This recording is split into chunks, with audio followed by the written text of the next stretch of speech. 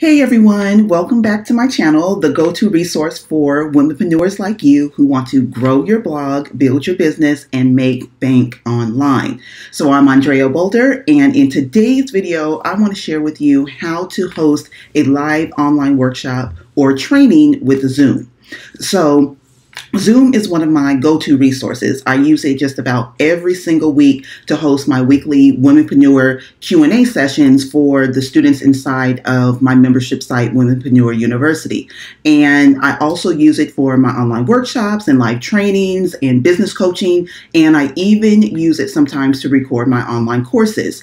And you can use it to conduct uh, just about everything. You know, one on one coaching sessions, one on one business meetings with clients. You can use it for mastermind sessions, and you can even host online parties. So it is a really useful tool that anybody can use. And what I love about Zoom is that it's free. It is free, it is budget friendly, and it is a tool that is really super to use and to navigate. So, Zoom as a has a few different options in addition to their free option. So there's a free option and then they do have paid options that you can kind of level up or choose from based on your needs and what you need in terms of um, capacity and, and volume. So you can see the different pricing plans here and you can see that with the free plan, you can host up to 100 participants and host an unlimited amount of meetings.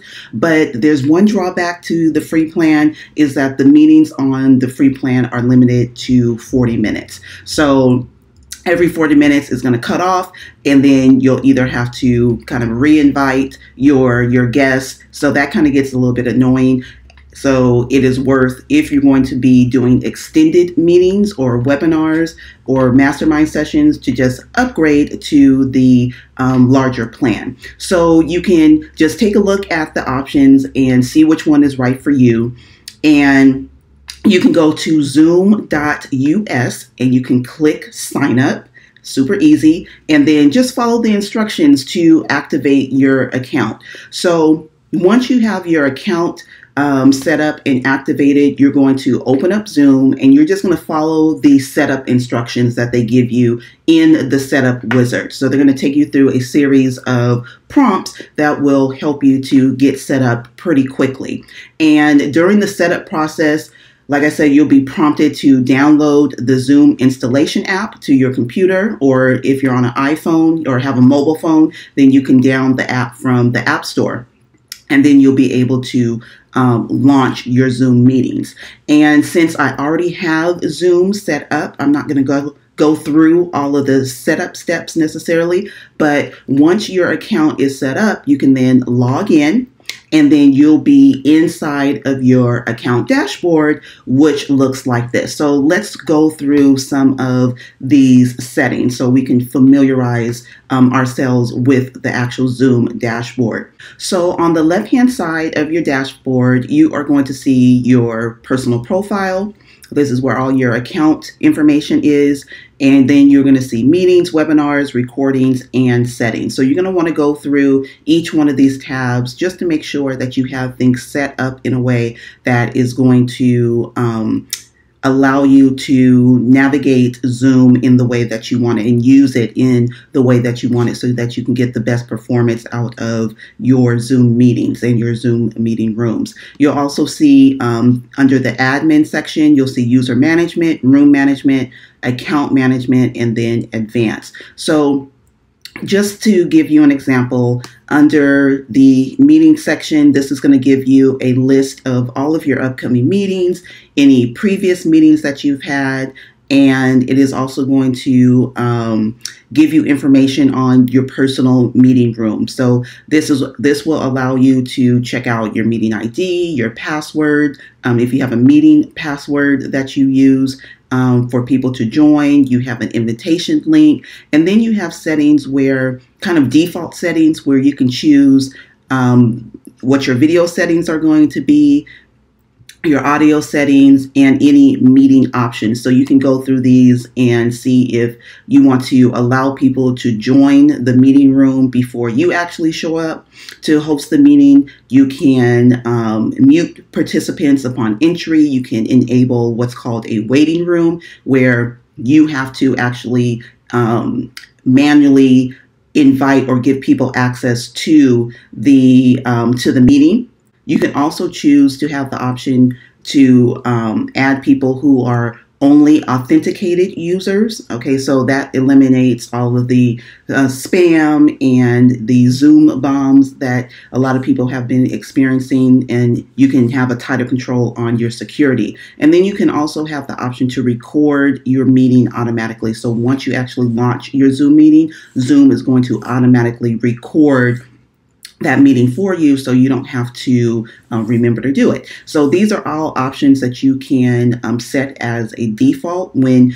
you start your meetings and it will give you an easy way to just kind of do it all at once and um, make sure that those things are taken care of to your preference. So you can also come into, if you're doing webinars, there's a webinar um, tab. There's recordings where you can search your recordings. I always save my recordings directly to my desktop so I don't have anything in the cloud. And this will just give you a way to search your cloud recordings and your local recordings. Okay. You can also go through your settings, and this is where you can, um, again, activate different features that will allow you to kind of customize your Zoom experience.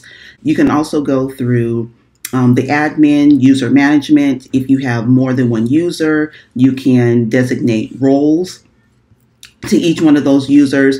Zoom also has um, video tutorials and a knowledge base. So if you get stuck at any point or not sure what to do or what a feature means, then you can go through that and um, make sure that you are educated on those features. So moving on, on the right hand side, if you want to um, schedule a meeting for a later date, you can click schedule a meeting and you can give your scheduled meeting a name, a description. You can um, designate on the calendar when that meeting will occur, so date and a time, the duration. So if you want to change it for um, an hour and a half versus you know, an hour, which is the default, then you can go in and change it. Or if it's going to be longer, like an all day event, then you can go in and, you know, put in seven hours. So you can just go ahead and change that to how you want it. And it doesn't mean necessarily that the Zoom meeting is going to cut off after you've um, gone past that time. It just gives people an idea of how long your meeting is going to um, last, expected to last. You can choose your time zone, and you can also choose if this is going to be a recurring meeting. So if it's going to be a recurring meeting, you can come in and put if it's going to be daily, weekly, monthly, or no fixed time, and it's going to repeat every, you know, so often, every month every 15 days, um, every four days, etc. So you can come in and schedule recurring meetings as well. You can also have your guests register if you want them to be required to register before you actually um, have them join your meeting. You can generate a new meeting ID for each meeting that you launch or you can simply use your personal meeting ID, which is kind of like a universal meeting ID that's specific to you and your meeting room. You can also require that there is a password for them to join. If you want to do that, that's another security feature um, update that they've put in. And like I said before, you can go through the video, audio, and the meeting options as well for each meeting that you want to schedule. If you have alternative hosts, if you're on a plan that allows you to have multiple hosts, then you can put their emails in here as well. And the email that they log into will register, and then they'll be able to actually be activated as a host. So that is for scheduling a meeting. Now, if you want to join a meeting, then you would need obviously a meeting ID or a personal link name, and then you can go ahead and join any um, meeting that has been scheduled or set up. And if you want to host a meeting immediately, like right now, you can go ahead and click on host a meeting and you can choose if you want to do it with your video on, with your video off, or if you want to do screen share only, where you're just um, showing your screen. So if you have a PowerPoint presentation or a keynote presentation and you just want to show your screen, or if you are doing a demonstration and you want to be able to show your screen, you can do screen share only. So I am going to launch a meeting so that you can see the features. And once you start a meeting, it is going to ask you how you want to join. So we're going to click with video on.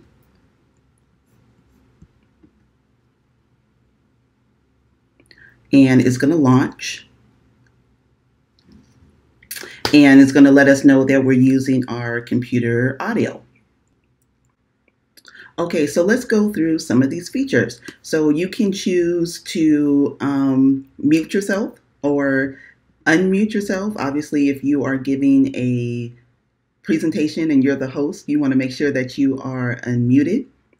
You can click the um, navigation tab here and you can check and see what microphone that you have. You can select a speaker. You can test your speaker and microphone, which I highly suggest that you do before you host or launch your meeting just to make sure that it is working. You can switch to phone audio or leave computer audio. So they these are all the settings that you have available to you. And if you're using say an external microphone, like a Blue Yeti, then you can, and that's plugged in, it will actually show up here, and then you can toggle between which one you want to actually use. So I'm using my built-in internal microphone that I have on my Mac, but if you have other um, microphones that are hooked up to your computer, they're going to show up here.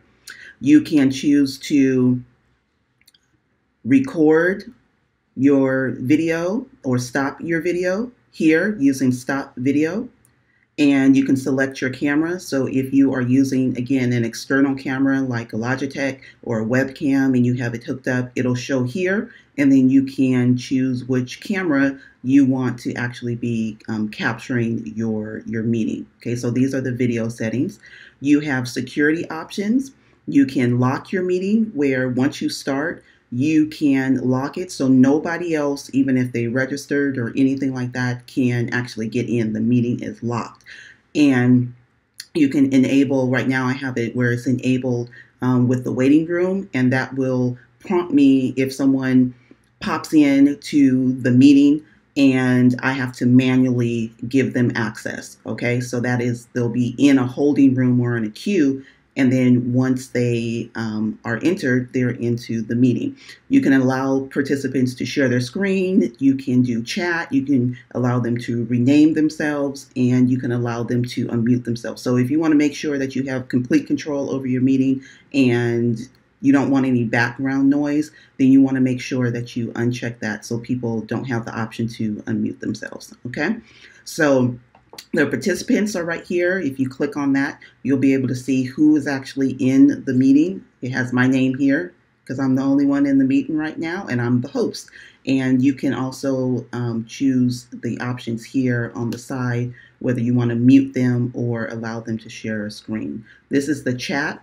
So if people have questions, you can actually um, see those questions there. If you want to say hi or have everybody say hi, you can type in. Or if you want to communicate something during um, your presentations, like add a link or um, give people instructions, then you can type those here in the chat as well. And you can also invite people to join the meeting by clicking this invite button. You can do a bulk mute all, and then there's more options again where you can mute participants upon entry so people are not interrupting your um, presentation or interrupting you while you are um, talking. And you have all of these other options as well to lock the, meeting, the meeting, enable waiting room. So some of the other options that we saw at the bottom here on our um, information bar. So if you wanted to come in and record, this is probably one of the first things that you should do. If you do not have it set up where it is going to automatically record your screen, then you would obviously come in here, you would click record, and you can record to the cloud or record on this computer. And you can choose your options there. And they have something new, which is called reactions. So it's like only two emojis here. but if you want to, you know, do applause or if you want to do a thumbs up, then you have the option for reactions there. So hopefully they'll add some more reactions. So those are kind of different. But if you want to share your screen, so this is important, you are going to click um, screen share and then what you're going to see is a number of different options. You have your desktop, you have the option for a whiteboard. Um, if you have an iPhone or iPad that you want to connect via, via AirPlay, you can click that.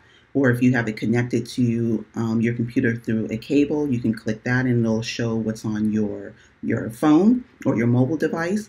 And then depending on how many other tabs you have up, they're going to show in here as well. So these are the options for the basic screen share.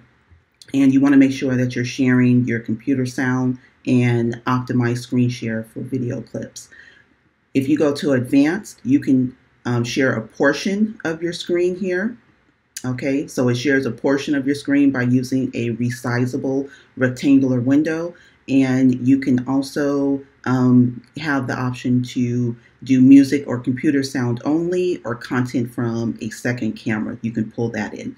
And then if you have files that you want to share with your audience while you're on, because this is all about, I use um, Zoom a lot for e-learning and for online workshops. So a lot of times I'll have a PDF or a downloadable worksheet or workbook that I want to share with my audience and you can actually pull the files in from um, Dropbox, from Google Drive, from Microsoft um, Drive, or from Box. Okay, so these will give you the options to pull that in um, directly during the Zoom. So if we go back to basic and we hit desktop and we click share, then what it's going to do, it's going to share our screen.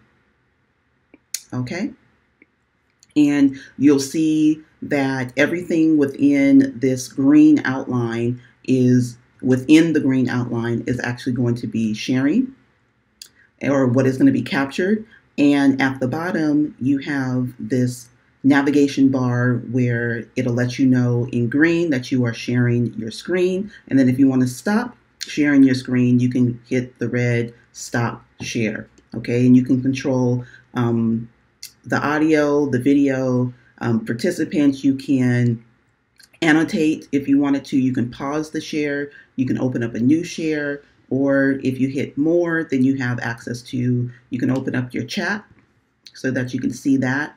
And if you're recording and you um, have your chat open, your chat is not actually going to be picked up in the recording. So when you download your video, it is not going to have this chat or Zoom box um, obstructing your screen. Okay, so these are all options on how to do a Zoom.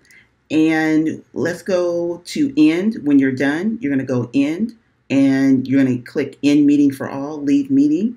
And if we were recording, let me just do this real quick. So let's say that we're recording on our um, computer, your microphone is not working properly. Okay, um, continue recording. It'll let you know meeting audio may not be fully recorded because we're just now um, doing this and I'm actually recording from Camtasia. So my microphone is actually being used by another app. So when we end and end meeting for all, it's going to let me know that the recorded files will need to be converted to an MP4 and it's going to convert my files. And then I can go in and choose where I want to save those files. So I'm just going to hit save and then you can see the meeting file right here. And it also puts you, um, gives you an audio only, which is pretty cool. And then it gives you the video in, the, in an MP4. Okay, so that is pretty cool. So let's go ahead and close that. So there you go, how to host an online meeting or workshop with Zoom. It is super simple. And as always, I hope that this video was helpful, that it's useful, that it's a tool that you can consider in building your online business. And if you like this video, make sure that you subscribe so that you can get notified when I post new videos and make sure that you are sharing this video with someone who it might help. So here's to leveling up and killing it online. I'll see you on the next video.